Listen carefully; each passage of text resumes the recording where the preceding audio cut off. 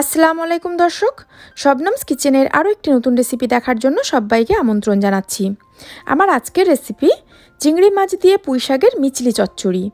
এখন শীতের সময় আর এই সময় বাজারে প্রচুর এই পুঁই মিচলি কিনতে পাওয়া যায়, তবে অনেকে অনেক নামেই পরিচিত। আমরা বলি পুঁই শাকের মিচলি কেউ কেউ বলে পুঁই মিটুলি বা মিচুলি। যাই হোক যারা খেয়েছেন, তাদের কাছে নতুন করে পরিচয় দেওয়ার কিছুই নেই।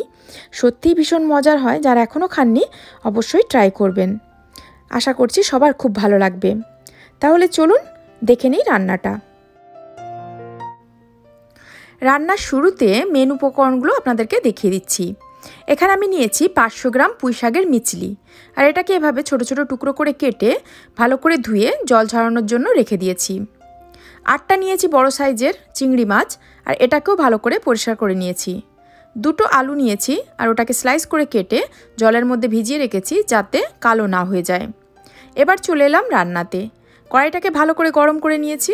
এবার ওর মধ্যে দিয়ে দিলাম পাঁচ টেবিল চামচ তেল। তেলটা যখন গরম হয়ে যাবে, ওর মধ্যে দিয়ে দিচ্ছি একটা বড় সাইজের স্লাইস করা পেঁয়াজ। পেঁয়াজটাকে একটু হালকা বাদামি করে ভেজে নেব।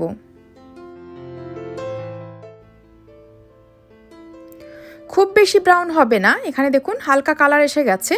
এখন আমি এর মধ্যে দিচ্ছি দুই টেবিল চামচ আদা রসুন বাটা। দুটো দিচ্ছি কাঁচা লঙ্কা কুচি, ঝালটা আপনার স্বাদ বুঝিয়ে দেবেন। দেওয়ার পর খুব ভালো করে আদা রসুনটাকে ভেজে নিতে হবে, যতক্ষণ না আদা রসুনের কাঁচা গন্ধটা সম্পূর্ণ চলে যাচ্ছে।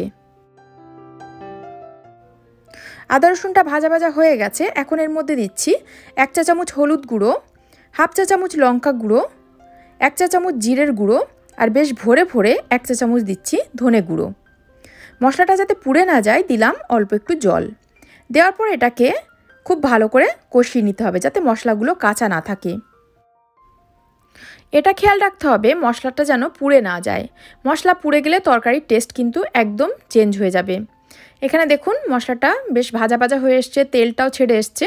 এখন এর মধ্যে আমি দিচ্ছি হাফ কাপ মতো টিনের চপ টমেটো। এটা আমি রেডিমেডটা নিয়েছি। আপনাদের কাছে যদি না থাকে, আপনারা দুটো টমেটোকে এভাবে কুচি করে দিয়ে দেবেন। কিছুক্ষণ কষানোর পর দিয়ে দিলাম স্বাদ মতো নুন। দেওয়ার পর আবারও ভালো করে কষিয়ে নিতে হবে। টমেটোটাকে একটু ম্যাশড করে দিচ্ছি, যাতে একদম তরকারির সাথে মিশে যায়। এখানে আমার তিন চার মিনিট হয়ে গেছে, আর দেখুন খুব ভালো মতো মশলাটা কষানো হয়ে গেছে, যার জন্য পাশ থেকে তেলগুলো ছেড়ে এসছে। এবার এর মধ্যে আমি দিচ্ছি চিংড়ি মাছগুলোকে। আমি কিন্তু গোটাই রেখেছি, আপনারা চাইলে কিন্তু মাছগুলোকে টুকরো করে দিতে পারেন। এবার এই মাছগুলোকেও খুব ভালো করে কষিয়ে নিতে হবে। আজকে এখানে আমি সরাসরি কষিয়ে এই চিংড়ি মাছগুলো রান্না করছি। আপনারা চাইলে কিন্তু এগুলোকে তেলের মধ্যে নুন, হলুদ দিয়ে ভালো করে ভেজেও এই রান্নাতে ইউজ করতে পারেন। এখানে আমি প্রায় তিন চার মিনিট ধরে চিংড়ি মাছগুলোকে এভাবে উল্টে পাল্টে মশলার সাথে খুব ভালো মতো কষিয়ে নিয়েছি। এবার আমি এর মধ্যে দিয়ে দিচ্ছি কেটে রাখা আলু। দেওয়ার পর এই আলুটাকেও কিছুক্ষণ কষিয়ে নেব। আলুটাকে এখানে দেখুন ভালো মতো কষিয়ে নিয়েছি। মশলাটাও বেশ শুকিয়ে এসছে আলুর সাথে। তো এখন এর মধ্যে আমি দিচ্ছি পুঁই শাকের মিচলিগুলোকে দেওয়ার পর মশলার সাথে একটু ওপর নিচ করে দেব। এই সময় একটু অসুবিধা হচ্ছে, পুরোটা ভরে আছে। কিন্তু কিছুক্ষণ পরেই একটু জল বেরিয়ে এটা কমে যাবে, এতটা বেশি থাকবে না। এখানে দেখুন দু তিন মিনিটের মধ্যেই কিন্তু অনেকটা কমে এসছে। এখন এটাকে মশলার সাথে খুব ভালো মতো কষিয়ে নিতে হবে।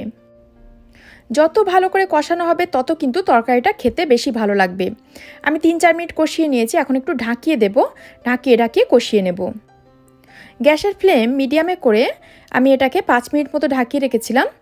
এখন দেখুন, অনেকটা কমে এসছে। আবারও ভালো করে একটু কষিয়ে নেব। তরকারিটা যত ভালো করে কষানো হবে, তত টেস্টি হবে। সেই জন্য আমি কিন্তু সময় নিয়ে এটা ভালো করে কষিয়ে নিচ্ছি। এবার এর মধ্যে আমি দিচ্ছি পরিমাণ মতো জল। পুঁইশাকের মিশলিগুলো সিদ্ধ হতে কিন্তু খুব একটা টাইম লাগে না। তো আমি হাফ কাপের থেকে একটু বেশি জল দিয়েছি। দেওয়ার পর ঢাকনা ঢাকিয়ে এটাকে সিদ্ধ হতে দেব। এখানে প্রায় আট মিনিট হয়ে গেছে আর গ্যাসের ফ্লেম আমি রেখেছিলাম মিডিয়ামে। এখন একটু ওপর নিচ করে দিচ্ছি।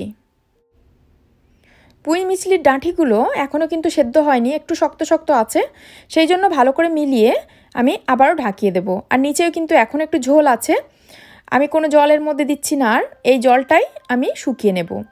তো ভালো করে একটু মিলিয়ে দেওয়ার পর আবারও ঢাকিয়ে দিলাম পাঁচ মিনিটের জন্য।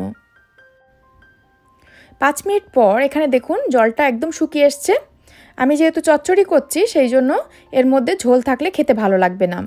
তো আপনারা চাইলে কিন্তু এর উপর ধনে পাতা ছড়িয়ে দিতে পারেন। রান্না আমার এখানে একদম কমপ্লিট আমি এখন পরিবেশন করে নেব। এক বাটি এমন ঝাল ঝাল পুঁই শাকের মিশলি তরকারি আর সাথে গরম গরম ভাত হলে ব্যাস আর কিছুই লাগে না। আমার তো ভীষণ প্রিয়, আপনাদের কার কার পছন্দ কমেন্ট বক্সে জানাতে ভুলবেন না। আশা করছি আমার আজকের রেসিপিটি আপনাদের ভালো লেগেছে। ভালো লাগলে অবশ্যই বানাবেন, আপনার প্রিয়জনদের সাথে শেয়ার করতে ভুলবেন না। আর সেই সাথে আমার চ্যানেলে নতুন বন্ধু হলে চ্যানেলটিকে সাবস্ক্রাইব করার জন্য অনুরোধ রইল। আজ তবে এখানেই বিদায় নিচ্ছি। সবাই খুব ভালো থাকবেন, সুস্থ থাকবেন। আল্লাহ হাফেজ।